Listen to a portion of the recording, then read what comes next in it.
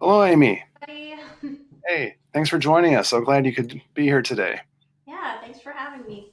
Well, absolutely, absolutely. So, um, yeah, you did um, something that was really very highly stylized and different for Heidi's book. It was very uh, visually impressive uh, when I saw it. Um, I'm not sure what I was expecting, but it it, it blew me away. And uh, I was wondering, you know, what was your uh, inspiration for all that? Sure. Um, so Heidi asked me if I was interested in doing the illustration for her. Um, and uh, I had never at that point read any of Heidi's books. Uh, embarrassingly, she is my neighbor. we live right down the street from each other, um, but always admired her um, and just how eclectic she is. And she's just, she's a great person. So when looking at Ambasadora, we were talking about um, the character Sarah in her book. And I'm a complete sucker for any, you know, female heroine story because she comes in, she saves the day, you know, love prevails. And um, one thing that really stuck out about her character was her biolights. So I knew that I wanted to focus on um, something that I did want Sarah to be a part of this, the illustration, but her biolights were going to be really the theme of this, this work.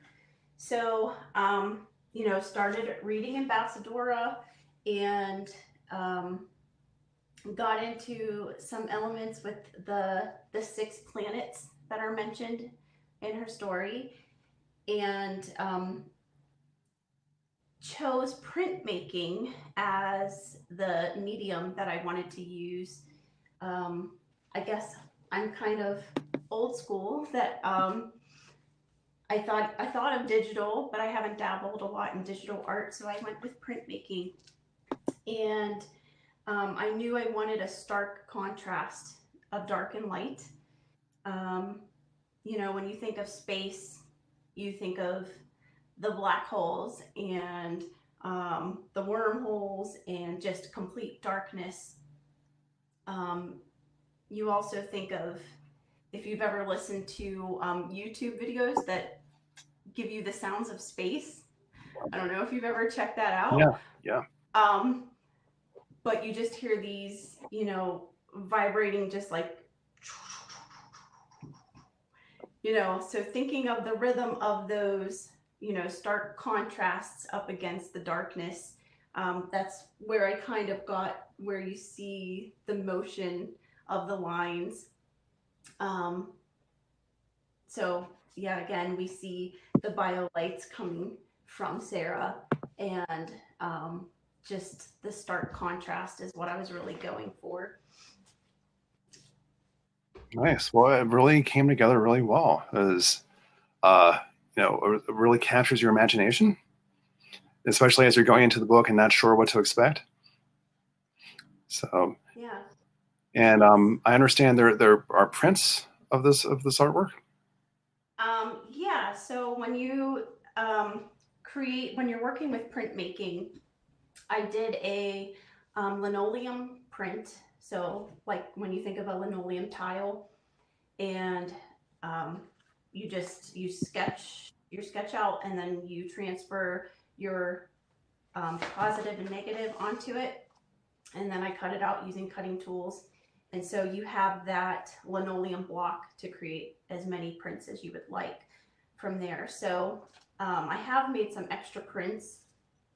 I've used um, some metallic paper which I'm a big fan of because when I think of you know what type of paper would I be using if I were in space? Like it, it wouldn't just be this plain stark white paper. Like I would have metallic paper, um, and not just with that, but um, got a little crafty, I guess, and added some glitter um, onto just the biolight areas just to highlight them a little bit more.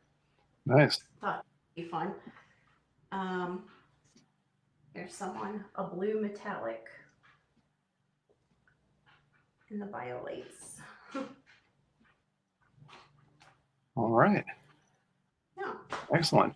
Well, you know what? I think I will drop a link in the chat here for anyone who is interested in purchasing that special edition, which features your artwork.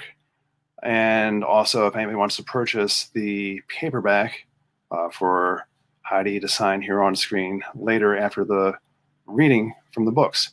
Thank you so much for joining us on screen here today. Thanks, John. Okay. Uh, all right, let's bring Heidi back on and get this reading underway. Okay, hello, Heidi. Hello.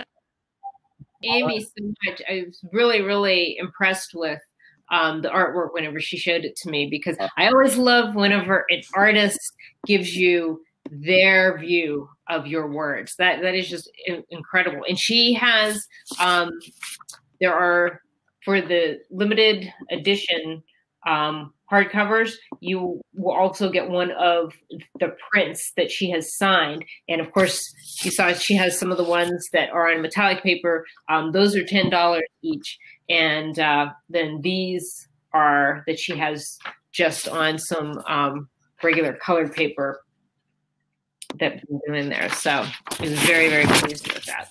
So thank you, Amy.